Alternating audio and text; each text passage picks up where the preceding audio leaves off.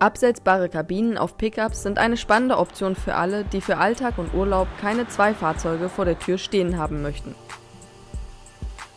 Familientauglich war diese Lösung bislang aber nur eingeschränkt. Eine Vier-Personen-Kabine auf einem Pickup zu schaffen, ist bislang eigentlich nur mit den großen US-Pickups möglich gewesen.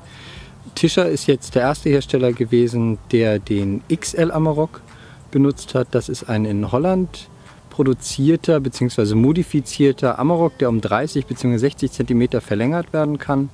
Und da passt nun die bei Tischer bewährte 260er Kabine drauf, die damit im vorderen Bereich vier vollwertige Sitzplätze in der Doppelkabine bietet und vier vollwertige Schlafplätze im hinteren Bereich. God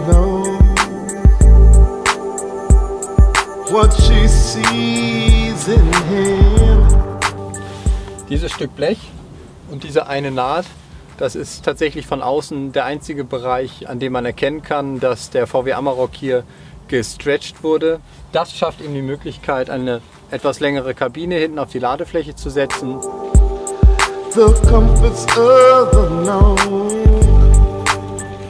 Diese Verlängerung des Radstandes erhöht erwartungsgemäß nicht unbedingt die Geländeeigenschaften des Amarok.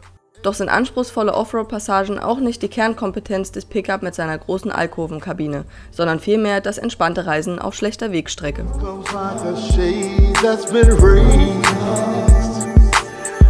Comes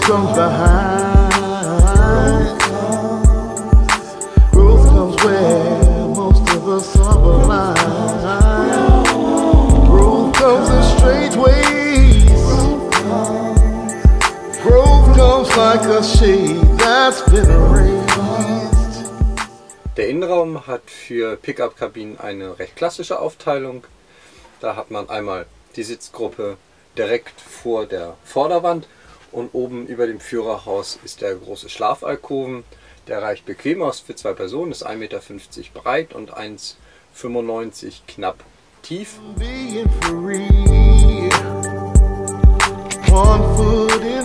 Die Inneneinrichtung hat Großserienqualität und Stauräume sind sinnvoll unterteilt.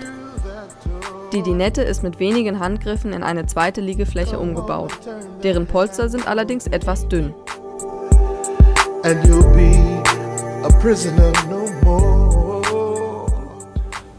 Unter der Sitzbank sieht die Sache so aus. Ich kriege hier gerade eine ganze Menge frische, kalte Luft hinein, denn diese Stauklappen gehen direkt runter in das Blech und hier geht es natürlich direkt nach draußen. Das ist der Weg vorbei an der Ladefläche.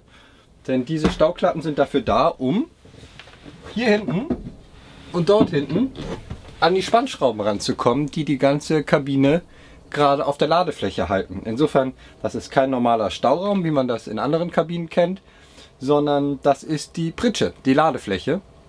Da können zwar auch Sachen verstaut werden, aber nur Sachen, die A kein Problem haben, im Blech unter der Kälte rumzuklötern und B müssten sie so groß sein, dass sie nach hinten nicht aus der Pritsche rausfallen können. Also in einer großen Tasche verpackt. Man könnte hier vielleicht auch einfach einen Stausack ansetzen dann kann man das auch als Staufläche nutzen, aber es gehört nicht zur Kabine selbst.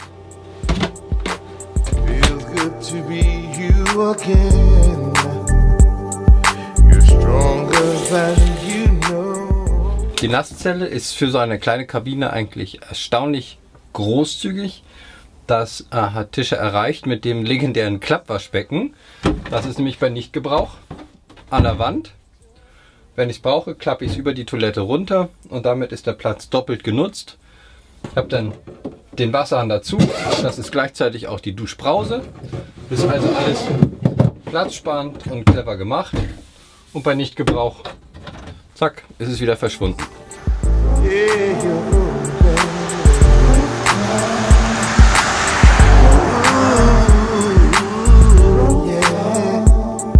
Der XL Pickup überzeugt auch durch ein gutes Preis-Leistungs-Verhältnis. Für das Testfahrzeug wären rund 78.000 Euro zu zahlen. Der Einstiegspreis für den verlängerten VW Amarok mit Tischers Trail 260 Kabine beginnt aber schon bei günstigen 63.000 Euro. calmo